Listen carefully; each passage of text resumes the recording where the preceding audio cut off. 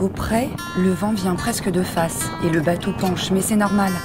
Aucun risque de se renverser grâce à la quille.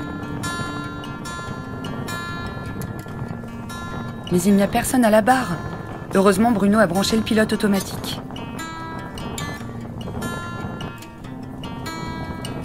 À l'arrière du bateau, il faut faire flotter le pavillon de sa nationalité. On a ajouté le pavillon breton.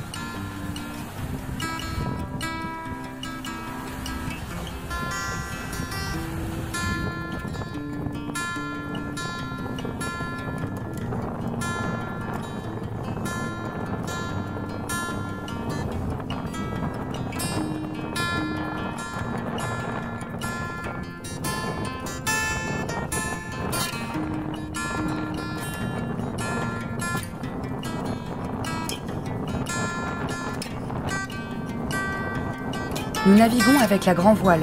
Quand on arrive au port, nous l'enroulons dans le mât.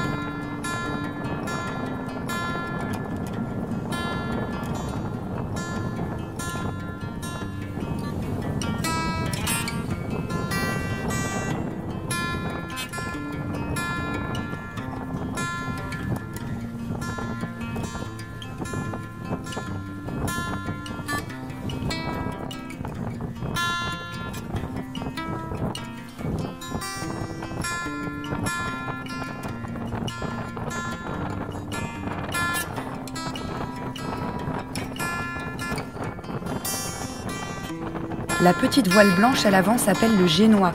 On le déroule plus ou moins en fonction de la force du vent.